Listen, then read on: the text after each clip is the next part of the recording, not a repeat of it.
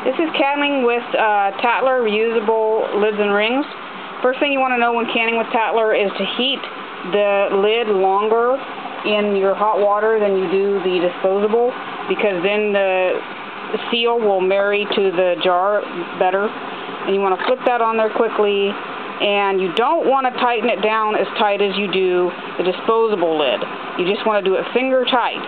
And then you want to check and make sure by looking up through here that you haven't accidentally put part of the seal in the jar. Because I've had that happen. That's the number one thing that happens. Once it comes out of the canner, um, you want to put it out and tighten it down pretty tight immediately, as opposed to the disposable, who, which you don't mess with after you've got it out of the canner. And that's the major difference between that. That's canning with tattlers.